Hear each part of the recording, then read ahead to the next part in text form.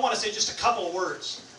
I suspect that there are some people in this state or in this room who look at two popular Democratic incumbents and say, boy, you know, I don't know, that, uh, that Senate race and that House race, they're going to be pretty tough. Maybe they even throw around words like unbeatable.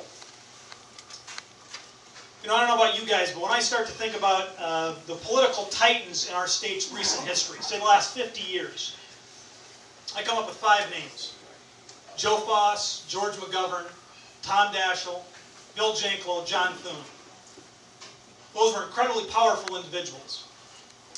One of those five gentlemen held elective office in this state every year for the last 50 years.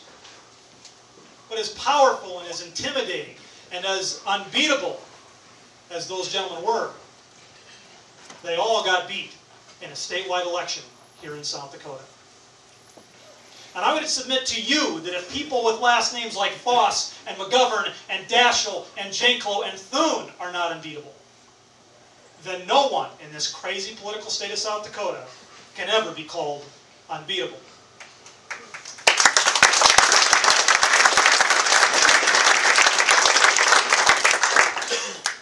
Now, nobody's saying it's easy, and nobody's guaranteeing victory, but the first step is recruiting good candidates. And ladies and gentlemen, we've got some pretty good ones tonight.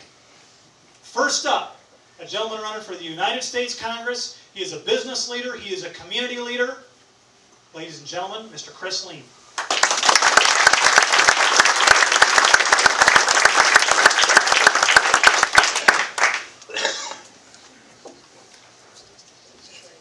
Well, thank you, Dusty. I appreciate that. I was uh, thinking back when you were talking about your talent and how you can, your musical skills with your armpit. Trying to figure out exactly where on that resume that you have that fits. and if it's still on there. I want to thank everybody for the opportunity to be here. It is an honor, it truly is an honor. And my friend Pat Ellison had spoke about, you know, when you run it, it is kind of scary. It is kind of scary, but it's worth it. And I'm learning that as I travel the state and meet such great and wonderful people that have been so supportive and so energetic behind this campaign. And it is true that the Republican Party is made up of ordinary people. But I like to take exception with that a little bit because I believe that the Republican Party is made up of extraordinary people. They just make it look ordinary. And all of you that have worked so hard to make this come together tonight, Alan and Kathy, thank you for that. I appreciate it, and it truly is an honor to be here. 1972, campaigning for my father in a senatorial election in Lead and Deadwood, South Dakota. I was seven years old. We were campaigning door to door, and I was carrying a box of leaflets and I'd run up to a woman's door and knocked on it. She opened it, and I said, Hi, my name is Chris Lien, and my dad's running for the United States Senate.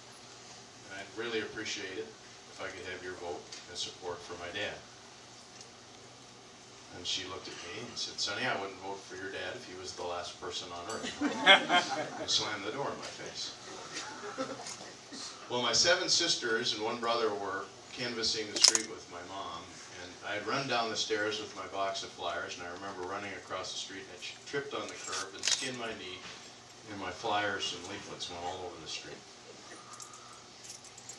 So I was picking up my leaflets and going through the process of putting them back in the box, and my mom came over and sat down next to me on the curb, and she put her arm around me, and I looked at her, and I said, Mom, why are we doing this? Why would Dad want to put himself out and do this? And she looked at me and said, because she believes in you, Chrissy. And she believes, or he believes in this country. And I asked her, well, it can't be easy for you. Why are you doing it? And she said, because I believe in him. And it was at that moment I knew that when I decided to run for public office, it wouldn't be merely because of the conviction of my father with the strength of my mother. Nine kids, and there you have it. That's the way our parents were with us.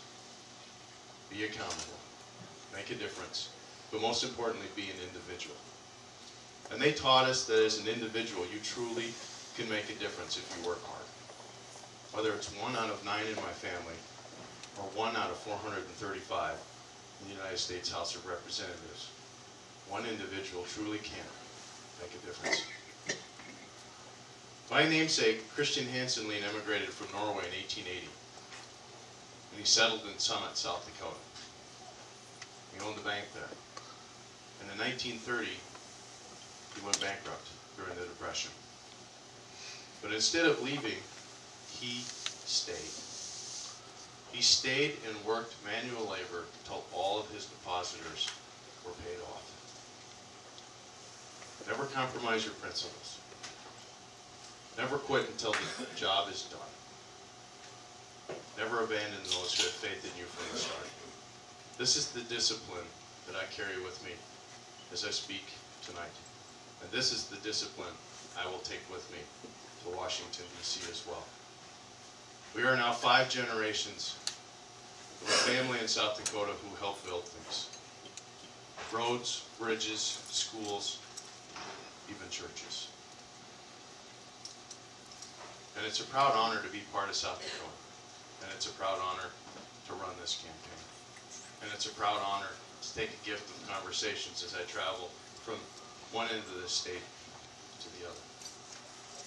Albert Pine, an 1800 novelist, wrote, What we do for us dies with us. What we do for others is and remains immortal. My wife Julie and daughter Annie have made the sacrifice so that I might do something I care about so deeply, and that is making a contribution through public service. We hear a lot of talk about change. And I believe we do need change. We also need a change in direction as well. And to me, that change in direction is to have citizen legislators who will debate and dialogue for the sake of good legislation, not credit or headlines. Legislators who will listen in South Dakota and talk in Washington, D.C. Not listen in Washington, D.C. and come back and talk in South Dakota. Legislators who will think to the next generation, not merely the next election. And it is going to be an uphill battle. Dusty's right. But nothing ever worth it is easy. And as I'm standing next to the picture of Abraham Lincoln, and I've read extensively about his life, I share a little bit of his litany when I had the conversation with my wife, Julie. And she said, everyone's telling you the odds aren't that great. I don't think you should get in it because you have the best odds. I think you should get into it because you believe in it.